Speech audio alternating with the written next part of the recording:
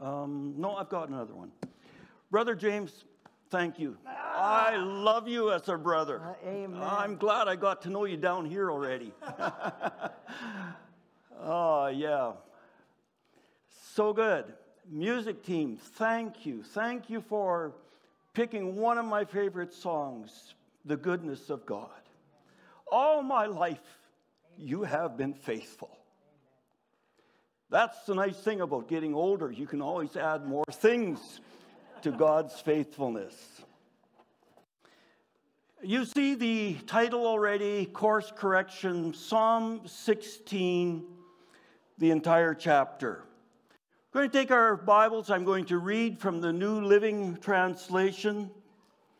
I'll read the entire psalm and you can follow. Keep me safe, O God, for I have come to you for refuge.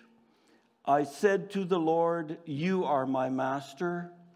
Every good thing I have comes from you. The godly people in the land are my true heroes. I take pleasure in them. Troubles multiply for those who chase after other gods. I will not take part in their sacrifices of blood or even speak the names of their gods. Lord, you alone are my inheritance my cup of blessing. You guard all that is mine. The land you have given me is a pleasant land. What a wonderful inheritance. I will bless the Lord who guides me. Even at night, my heart instructs me.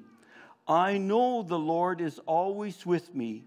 I will not be shaken, for he is right beside me. No wonder my heart is glad and I rejoice. My body rests in safety, for you will not leave my soul among the dead or allow your Holy One to rot in the grave. You will show me the way of life, granting me the joy of your presence and the pleasures of living with you forever. Before we get into that text, I just want to talk about two concepts that I'll be using this morning in the message. Firstly, what I call onion or jawbreaker theology. Now, this is my own personal feeling here. You don't have to look for Dr. Google and see what he says on it. Uh, I haven't published it, but I think there is something about onion theology. Simply put, there is a statement or there is a story that happens. It has its significance, it has its value right in the moment. It stands. It stands unchanged in meaning. However, a new situation comes. And it adds, takes the original and it adds some meaning to it, some new significance.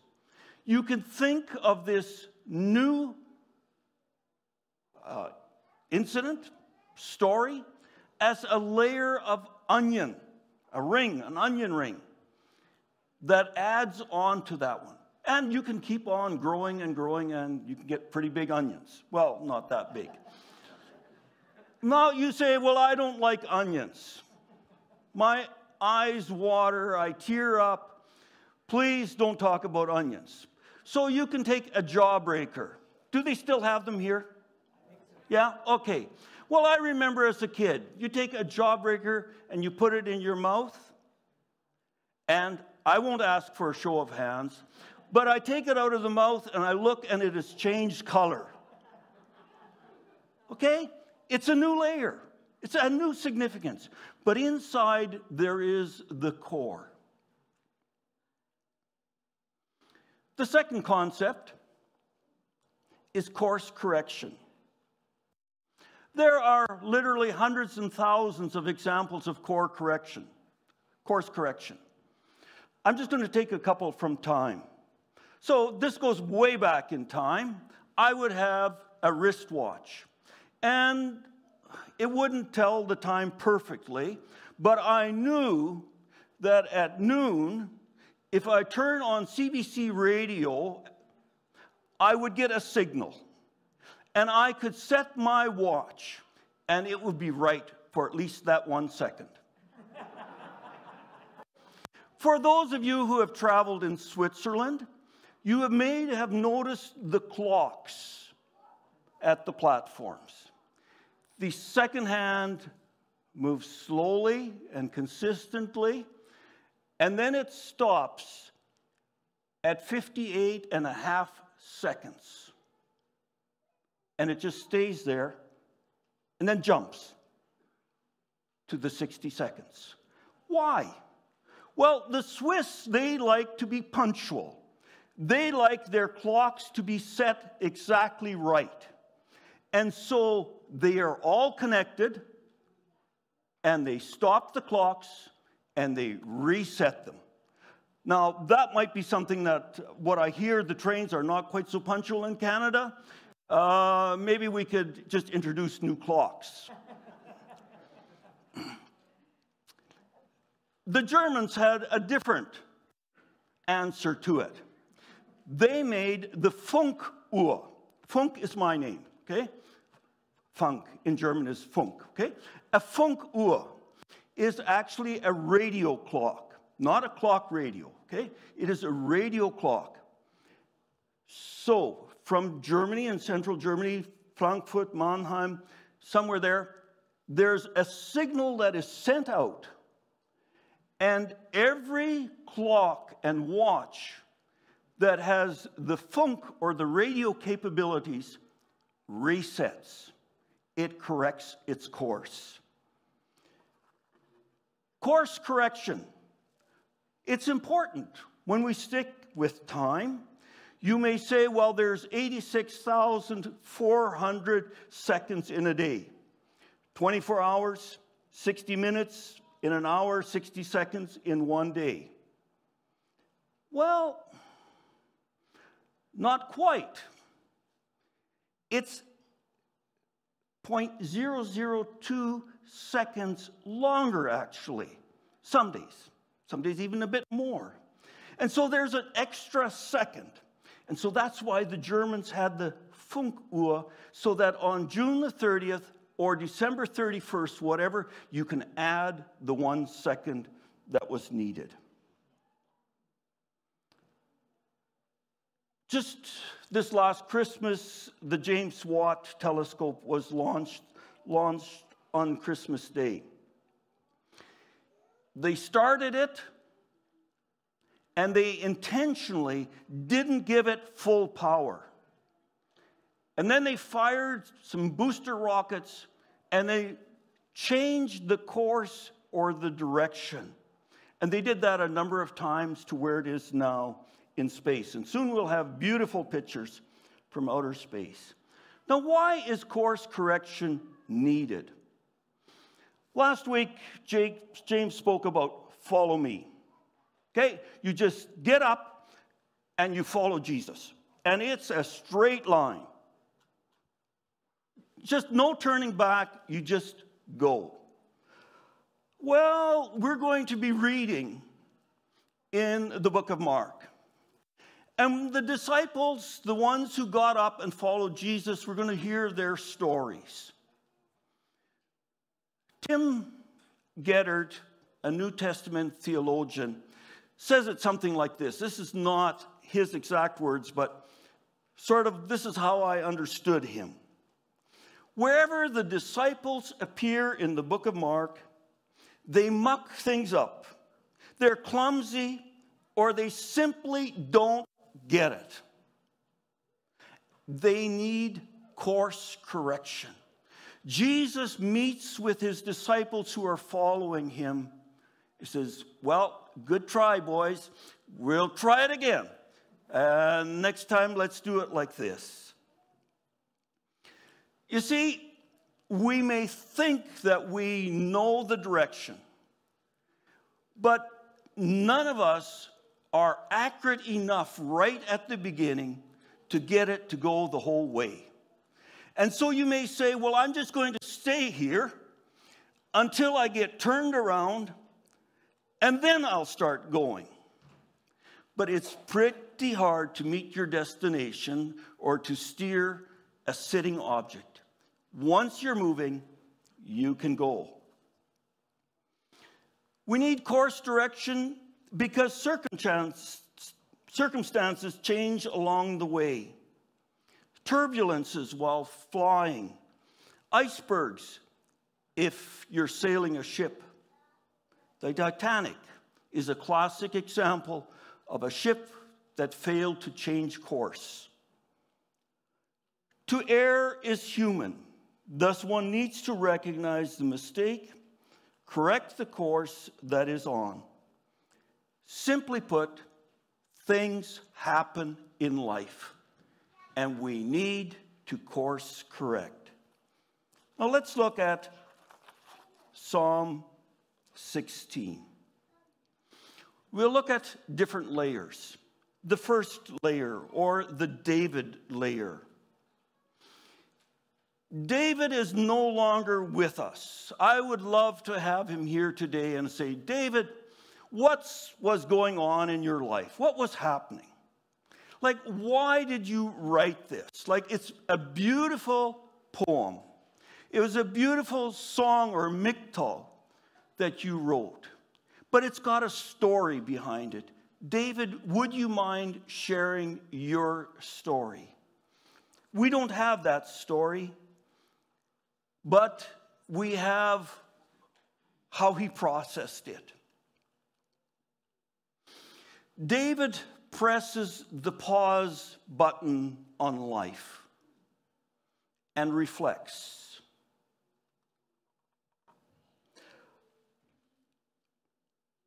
Keep me safe, O God, for I have come to you for refuge. David says, It's a wild world out there. There's things going on that just confuse me, that trouble me.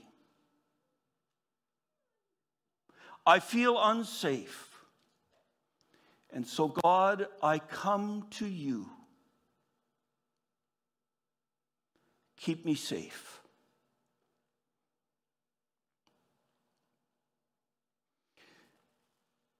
You are my master. Every good thing I have comes from you. He recognizes God as his master, as his Lord. He recognizes that the good things that he has,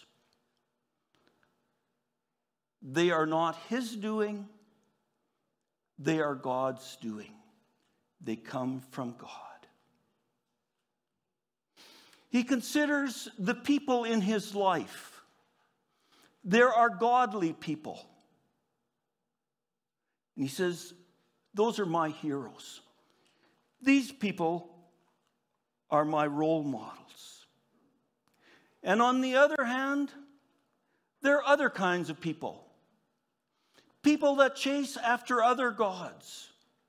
And they're dead serious about it.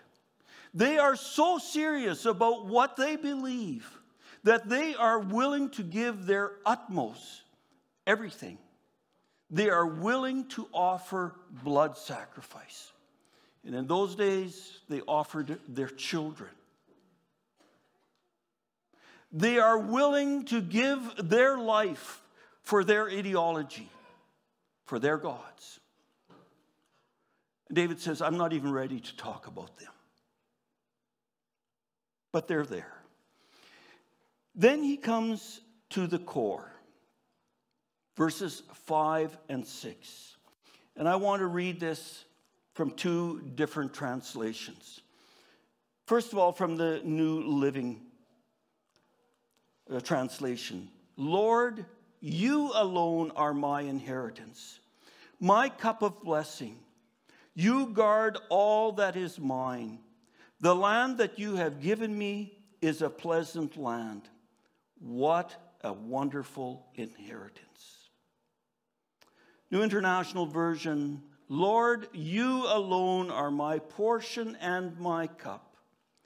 You make my lot secure. The boundary lines have fallen for me in pleasant places.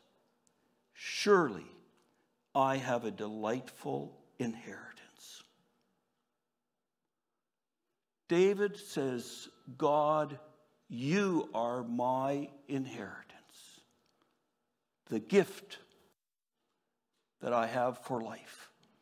Now, in this story that David is talking about on inheritance, there's a previous story or stories. One of the first stories about inheritance is God speaking with Abraham.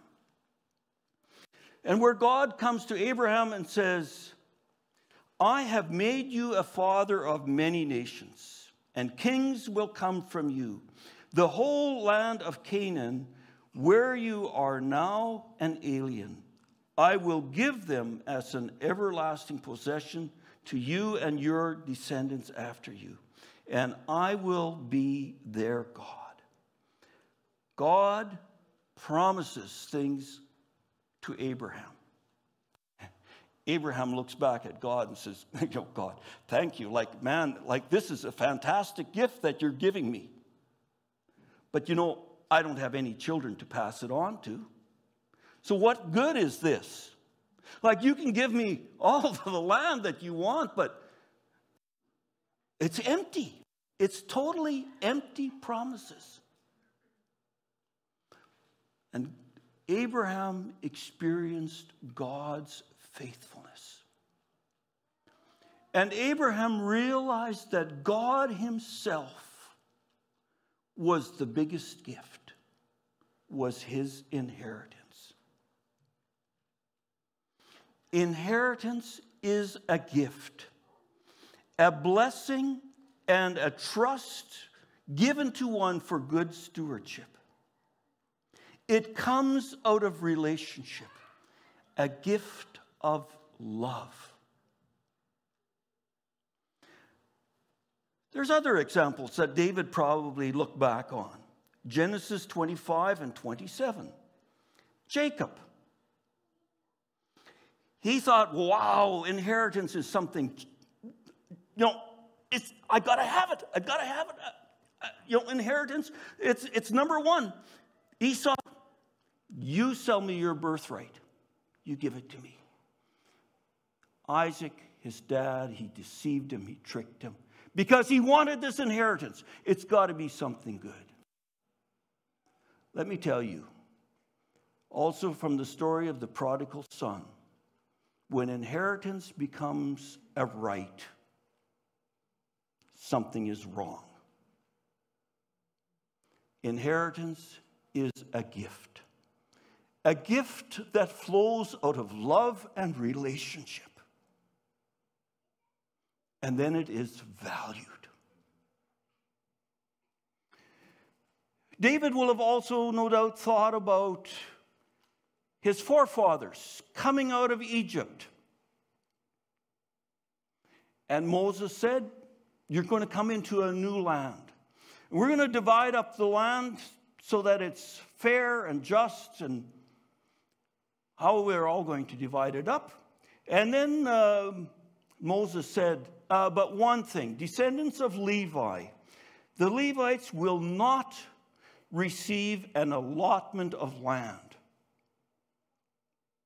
Their role as priest of the Lord is their allotment. Joshua 8, or no, Numbers 26.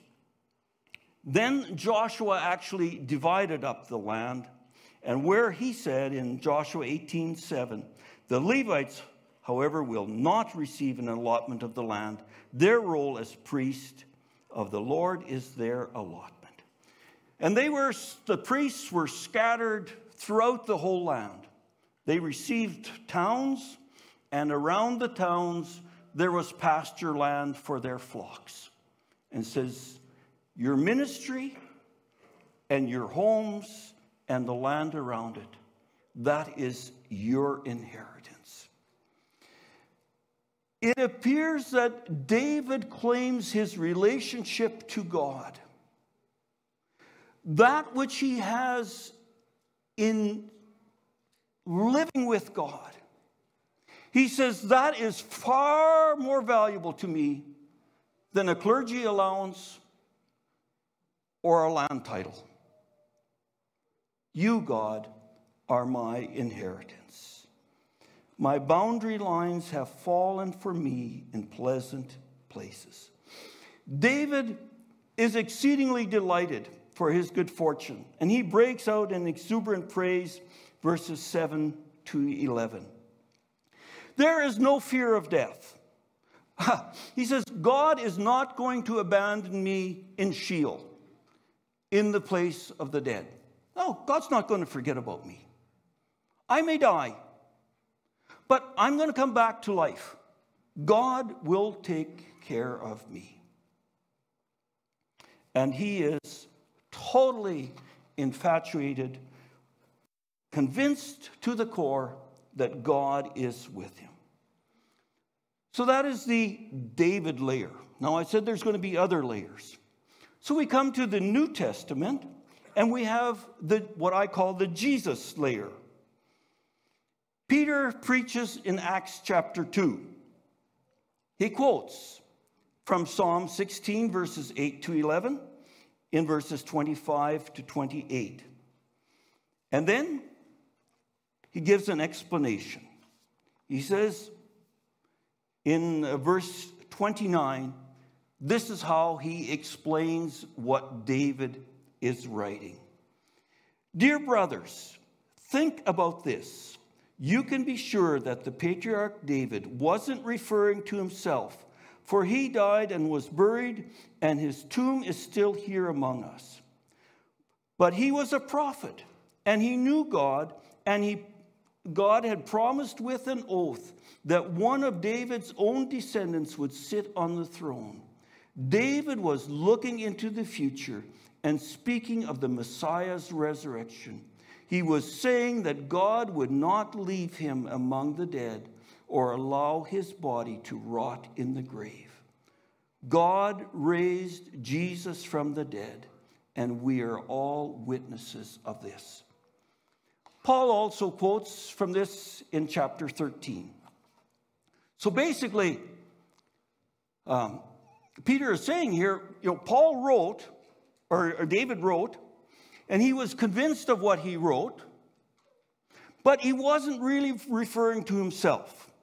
He was referring to Jesus. Well, I'm not going to argue today. I don't know whether David really knew the words that I am penning here are about a future Messiah. But in the layer that God uses words that are significant and important and have new meaning in a new situation. And Peter grasps onto that and he says, Wow, look at the value that is added to these words. To me, it is just amazing the inspiration of Scripture, how God speaks other layers. We have the daily bread in our home. We use the online version because there's an extra explanation also. And uh, so we have more discussion.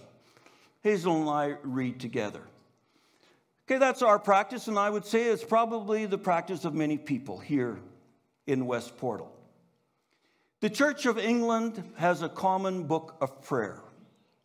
It's a book with daily readings for the morning and for the evening. Scripture.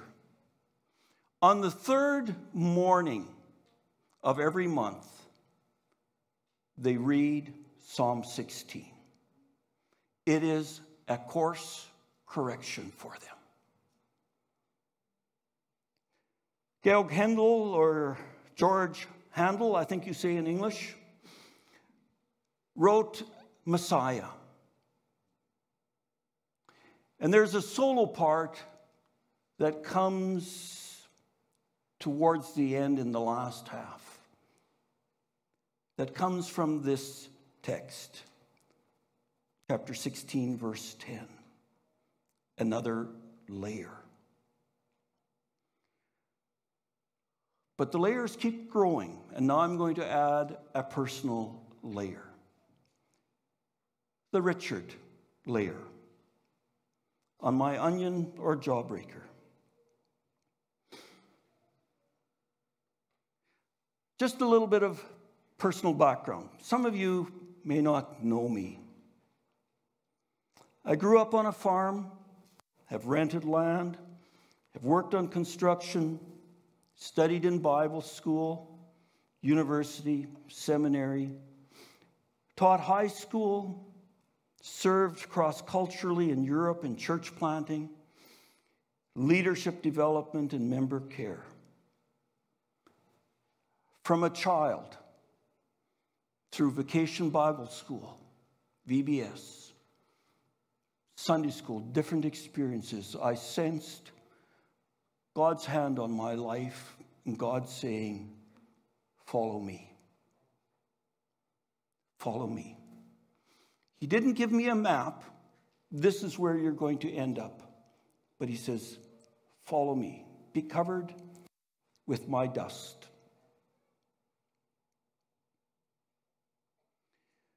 This sense of God placing his hand on my life has caused me, and I will also bring in my wife Hazel here.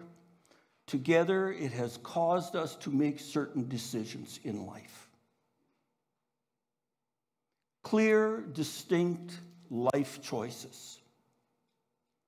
And yet, in all of this, I have remained human, very human. I have faced challenges and struggles. I have had times of discouragement, even depressive times. I have looked jealousy right in the face as I compared myself to others and their successes, their possessions. There have been times where I've been far too introspective and been down on myself. And all this takes me down a dark, dismal road. And occasions, Psalm 16 has become very personal for me. It has helped me in my course correction. Three weeks ago, tomorrow, I woke up early in the morning and I thought, I've got it. I know what I'm going to be preaching on on the 20th of February. I got up, started reading in my Bible, and I thought, yes, this even happens in the book of Mark. It's scripturally rooted. I prayed, and so then I emailed Pastor Andrew and I says, Andrew, this is what I've got planned. Like, does this conflict with you and your plans, your outline for Mark? He says, Well, yeah, i will be covering that, but Richard, Man, if God has put this on your heart, go for it. And I was excited. I said, This threefold confirmation God speaking. And in the matter of, I was going to say hours, probably a day or two, several circumstances, situations, incidents, and I crashed. And I realized that which I was planning to share this morning was not a message for you, but it was a message for me.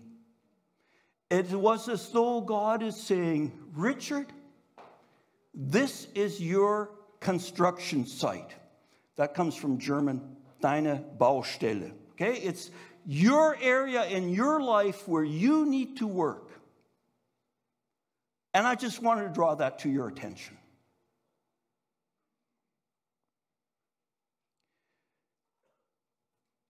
And in my personal depths that I went into, I thought of Psalm 16.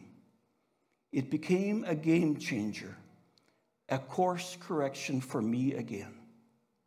And you may wonder well, how in the world did this psalm help you correct your trajectory? This is what I did. First of all, let me review why is course correction needed? As I stated, life is not always a straight line. Things happen. There's new situations, there's hindrances, there's opportunities. We gain new insights and maturity and immaturity. It's not always sin that's the problem, but it's a realization I need to adjust if I want to reach the desired destination. So, what did I do? I started with this text and I paraphrased it for myself. Keep me safe, O God, for I have come to you for my refuge. I visualized myself sitting with God, safe and secure in his presence. I actually visualized myself of sitting on a hammock in God's garden. Nobody else around. And I was just there and I started talking. I took words. You are my master. And my practice is I write it in a journal. I've got a daily journal and I've got, yeah, just sort of like the last couple of years. There's lots written there. I process by writing so that my mind doesn't just go in circles. When I write it down, it helps me order my thoughts. And I can go back days, months, or years later, and I can see what actually happened. I reviewed where I wrote the word master or Lord. I reviewed decisions that I had made where I felt this is God directing or calling me. Where I said, Yes, I will follow you. And I says, Thank you for these decisions. Every good thing I have comes from you. And so I started listing the good things. What has made me such a rich man? Number one, was a lady sitting there, my wife Hazel. She topped the list. I says, God, thank you for leading her into my life and blessing me immensely through her. And my list continued and continued. The godly people in the land are my true heroes. Now, at my age, you know, there's different segments in life. So I took the childhood, youth, young adult, single years, we'll call them. And I says, who were the important people, the godly people? And how did they shape me? I wrote names and what influence they had. Then I took the early years of marriage as husband, parent, teacher, sort of the time that we were here in West Portal from 77 to 87. And there are a number of West Portal names there. Godly people who have shaped my life. I walked through 10 year segments, three segments of our life in Austria. Who are the people? Wrote their names and what happened. And you know, I got that far and I realized something is happening. My course, my walk is already being corrected. I didn't even have to go looking at the ungodly. I didn't even have to look at this concept of inheritance. Or I was already, in verse 7, I was rejoicing inside because I was able to refocus. Application. What about you? What is your layer? I want to help you unpack. Firstly, I ask, what is your story? What are the themes, the thoughts, the conversations that have been dominant in this past week? What keeps coming up? Or if you want to look beyond that, sort of your life. What are the themes that keep coming up? That's part of your story. That's got something behind it. Identify it. Secondly, what scripture resonates with your soul? What verses in the Bible speak to you again and again? Every time you take them and you read them, you say, Yes. And it helps you to refocus. You say, Well, I don't have one. Like, I encourage you, take Psalm 16 and work through it. Create your own onion or jawbreaker layer. On the website, you will find discussion questions for a life group. And if you're not in a life group, take them, read them, print them, and work them through on your own. And share your responses with a trustworthy person. Thirdly, pray, seek, and answer for course correction that you need. Sincerely ask God, God, this thing keeps coming up in my life. Obviously, you want to say something. Help me. And lastly, I say, become quiet. Come into a safe place and invite God to speak. Amen.